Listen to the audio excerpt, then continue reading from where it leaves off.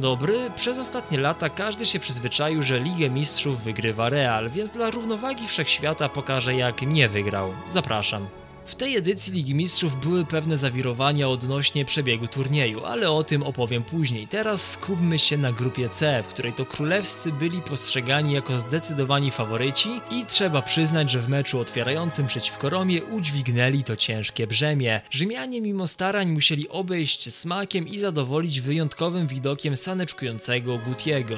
Belgijski gang raczej nie stanowi zagrożenia pod żadnym względem dla Realu, no chyba, że o rozstrzygnięciu meczu zadecydowałoby to, kto wydobędzie więcej węgla. Wtedy ze względów historycznych zespół z Belgii byłby faworytem.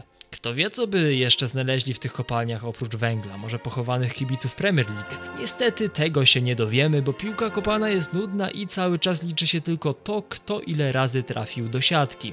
Real trafiał często, za często. Zawodnicy Genku robili co mogli, a i to było za mało. Jedyne co im pozostało to powiedzieć to samo co naczelny jastrząb Banku Polskiego. Wszystko, co leży w naszej mocy. Możemy to uzupełnić, no nie wiem, jeszcze modlitwami, no bo już innych środków nie mamy. 6 do 0. Wraz z końcem tego meczu kończy się sielanka królewskich. Zdarzenia w Atenach przyniosły ból i gorycz, dosłownie ból, bo kibice Realu przy wyniku 3 do 1 wyli co najmniej tak, jakby im orzeł kaukaskie wątrobę wyżerał, albo jakby ktoś powiedział, że Messi jest lepszy od Ronaldo. W przypadku tych dwóch kwestii skala cierpienia jest bardzo podobna. Jednak z racji, że do końca meczu pozostało lekko ponad 70 minut, to królewscy mieli sporo czasu na odrobienie wyniku. Jak się można domyślić, Zidane oraz Guti dopilnowali tego, aby wynik został odrobiony. Rewanż na swoim obiekcie kazał spodziewać się lekkiej przeprawy i po części tak było. Gospodarze z łatwością kreowali sytuacje bramkowe, a McManaman zgrabnie je wykorzystywał. Goście natomiast próbowali się odgryzać, ale oni w przeciwieństwie do Anglika robili to bardzo nieporadnie. Sytuacja zmieniła się w 74 minucie. Wtedy rzut rożny natchnął serca przyjezdnych nadzieją, a obrona Realu te marzenia wspaniałomyślnie urzeczywistniła. Mecz niespodziewanie kończy się remisem, drugim remisem z rzędu. Festiwal grozy i fantastyki dla kibiców królewskich trwał nadal. Rzymianie tworząc pół sytuacji bramkowej wyszli na prowadzenie i mając korzystny wynik postawili mur przed swoim polem karnym. Nie był on szczelny, ani trwały. Właściwie to jedyna rzecz, jaka łączyła ten twór z murem, to nazwa, ale to i tak wystarczyło na nieskuteczną ofensywę Realu. W ostatnim meczu tej fazy grupowej zespół z Hiszpanii przekonał się na własnej skórze, że powiedzenie głupi ma zawsze szczęście nie jest wyssane z palca. Otóż królewscy nie odnosząc jakiegokolwiek zwycięstwa w czterech meczach z rzędu i tak wyszli z pierwszego miejsca, ponieważ Roma w spotkaniu z Atenami straciła bramkę w 90 minucie i pozbawiło ich to trzech punktów. Trzech punktów, które wepchnęłyby ich na czołowe miejsce. Ciekawe czy piłkarze Pogoni się jakoś inspirowali tą historią. Teraz się na chwilę zatrzymamy, bo trzeba wyjaśnić strukturę tej edycji Ligi Mistrzów, ponieważ jest ona dość wyjątkowa, specyficzna i jedyna w swoim rodzaju. Zupełnie jak ta twoja koleżanka z klasy, co ma kolorowe włosy. Po pierwszej fazie grupowej zespoły z dwóch pierwszych miejsc przechodzą do drugiej fazy grupowej i po tym etapie już były ćwierćfinały, ale granie w grupach kończyło się dopiero w marcu, co według mnie nie jest najbardziej interesującym formatem i chyba UEFA doszła do takiego samego wniosku, bo w następnym sezonie wyglądało to inaczej. Real ponownie wylosował grupę C. Czy to może świadczyć o tym, że losowanie było ustawione? No to pytanie zostawiam otwarte dla wszystkich ludzi w foliowych czapkach. Grupa składała się z Lokomotivu Moskwa, Borussii Dortmund oraz Milanu i to z tymi ostatnimi zostanie rozegrany pierwszy mecz. Zawodnicy wzięli ostatniego gryza kanapki, wyruszyli na murawę i czekając aż te dzieci z tyłu przestaną machać płachtą, witali się z publicznością. Po całej ceremonii mecz wreszcie się zaczął. Oba zespoły coś tam próbowały, ale to gospodarze okazali się bardziej przebiegli i w 40 minucie Szewczenko otworzył wynik, co zmotywowało kibiców do odpalenia rac, które zadymiły cały stadion. Utrudniło to oglądanie tego widowiska, ale może tak lepiej. Przynajmniej cały świat nie widział, jakie szambo prezentuje zespół z Madrytu. Milan, okupując połowę oponentów, spokojnie doczekał do 90 minuty i zaklepał 3 punkty w meczu numer 1.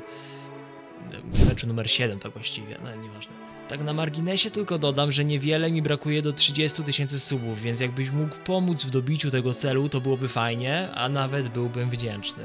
Na lokomotiv wrócił Ronaldo, co mogło napawać kibiców optymizmem, no bo od tej pory żaden punkt nie może wypaść z rąk królewskich, ale to nie Ronaldo był na ustach wszystkich. Nawet nie Raul, który zdobył ostatecznie dwie bramki. Show skradła formacja ofensywna lokomotivu. Ci zawodnicy byli niesamowici w tym meczu, wykonując minimum jakichkolwiek zwodów, a właściwie to tylko biegnąc przed siebie, zrobili wodę z mózgów oponentów. Te akcje wyglądały trochę jak gameplay z FIFA 08, ale mimo wszystko wynik udało się uratować i na koniec dnia znaleźć pocieszenie w tym jednym punkcie. Wygranie z Borusią było obowiązkiem, jeżeli Madryciarze realnie myśleli o tym ćwierćfinale. Piłkarze ubrani na biało robili co mogli, uciekali nawet do niecnych zagrań w postaci nurkowania, ale nic z tego nie wychodziło. Za to przeciwnikom wystarczyła jedna akcja i łysy Jan Koller, aby sprawić, że Perez już miał brać akumulator na kablu i wymierzać sprawiedliwość w szatni. Na szczęście dwie minuty przed końcem pierwszej połowy Raul zrobił takie coś i powstrzymał zamiary prezesa. Momentalnie po przerwie Ronaldo dał prowadzenie i żeby mieć mieć pewność, że zawodnicy Borussii nie będą szukali wyrównania, to trochę ich postraszono. Zwycięstwo stało się faktem, trzy punkty dopisane do konta. W spotkaniu rewanżowym ponownie ten kolos z Czech dał się we znaki drużynie Realu i ponownie trzeba było gonić wynik. Tym razem happy end okazał się tylko częściowy, ponieważ udało się wyrównać, no ale tylko wyrównać. Milan przyjechał do Madrytu jako zespół niepokonany, w tej konkretnej fazie oczywiście. Scenariusz idealny, aby tę serię przełamać i Raul zrobił wszystko co było w jego mocy, aby ta możliwość stała się faktem. W 81 minucie Milan złapał kontakt, ale szybko ucinając jakiekolwiek nadzieje, Guti dołożył trzecią bramkę.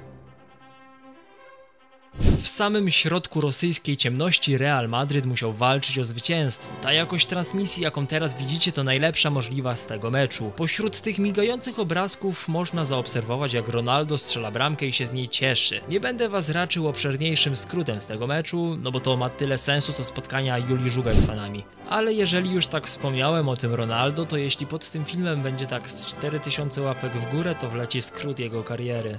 Grupa zakończona. Milan oraz Real awansują do ćwierćfinału, a pozostali muszą obejść je smakiem. Dla kibiców Borussii to zupełnie normalne, dzień jak każdy inny. Jedna czwarta finału przyniosła maszynę Sir Alexa Fergusona, jakość wylewała się z ekranów, chociaż początek meczu lekko przypominał ekstraklasę, bo nieporadna próba przewrotki przebita została golem po centrostrzale, ale wydaje mi się, że w przeciwieństwie do naszej rodzimej ligi tutaj wszystko było zaplanowane, chociaż nawet jakby nie było to i tak każdy by mówił, że było, więc bez różnicy. W odpowiedzi na kolejną groźną próbę Manchesteru królewscy strzelili kolejnego gola. Dwubramkowa przewaga ich rozluźniła, zaczęli próbować różnych zagrań oraz strzałów z dystansu, a nawet jedna taka próba zmieniła różnicę bramek między zespołami. Żeby nie było, że wynik jest już rozstrzygnięty i nie ma sensu grać rewanżu, to Van Nistelrooy dał coś od siebie i natchnął serca diabłów lekką nadzieją, ale tylko lekką. W momencie kiedy zszedł Ronaldo, to sędzia stwierdził, że nie ma sensu tego ciągnąć dalej i mecz zakończył. So. 23 kwietnia odbył się rewanż. Mówię to tak oficjalnie, ale to był na tyle dobry pojedynek, że wypadałoby mi wskoczyć teraz w garnitur. Mecz zaczął się od zmasowanych ataków gospodarzy, które zostały stłumione pierwszą bramką Ronaldo. Kiedy zawodnicy ubrani na czerwono-biało zdołali się otrząsnąć i wyrównać, ponownie ten Ronaldo utrudnił zadanie. Czerwone diabły się nie załamały. Tym razem w osiągnięciu celu pomógł Helguera i jego olbrzymie stopy. Zespół z Anglii nacieszył się remisem przez 7 minut. Po upływie tego czasu, no wiadomo kto dopełnił dzieła zniszczenia i skompletował hat-tricka. Ferguson, aby ratować to, co zostało do ratowania, wpuścił na boisko jakiegoś Beckhama. Okazało się, że chłopak całkiem nieźle wykonuje rzuty wolne, a i w polu karnym się potrafi odnaleźć, no ale wszystko to było za późno, bo Manchesterowi zostało tyle czasu, ile pokazuje fryzura Zidana. Okrągłe zero. Królewscy nie bez problemów, ale zapewnili sobie awans do półfinału, gdzie czeka Juventus, który rozprawił się właśnie z Barceloną. Już w drugim kwadransie spotkania Ronaldo otworzył wynik. Niestety tuż przed końcem pierwszej połowy Trezeguet wyrównał i ta bramka postawiła starą damę w bardzo dobrej sytuacji, o czym świadczy papieros zwycięstwa zapalony przez Lipiego. Nawet ostateczna porażka 1 do 2 i tak sprawia, że na włoskiej ziemi będzie piekielnie trudno coś ugrać Realowi. Ani fiołków, ani makaronu nie było, za to były korki odbite na piszczelach i piłka w siatce, nawet kilkukrotnie. Figo nie trafiający karnego doszczętnie zakopał nadzieję madryciarzy na pozytywny wynik i pozostało im jedynie schylić głowę, unikać kontaktu wzrokowego i czekać na ostatni gwizdek, który przypieczętuje awans Juventusu do finału. Włoskiego finału, w którym to stara dama okazała się zespołem gorszym. O tym pewnie kiedyś też zrobię odcinek, ale to jeszcze sporo wody musi upłynąć w Wiśle. No i to tyle. W taki oto sposób Madryciarze nie wygrali Ligi Mistrzów w 2003 roku. Jak się podobało, zostaw komentarz, łapkę i inne rzeczy. Ja się żegnam. Żegnam.